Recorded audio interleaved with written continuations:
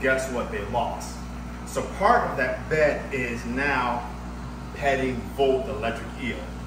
Okay, so I never done this before. I warn you, I don't know what's gonna happen. I'm nervous, um, but he's inside the tank, and I'm gonna gonna put my hand in there.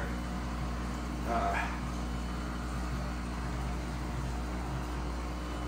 uh, ah, whoo.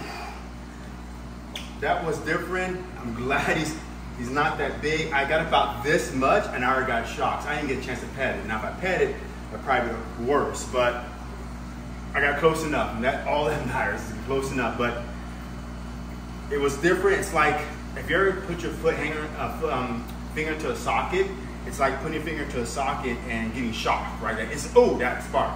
That's what it felt like. But I won't be doing that again.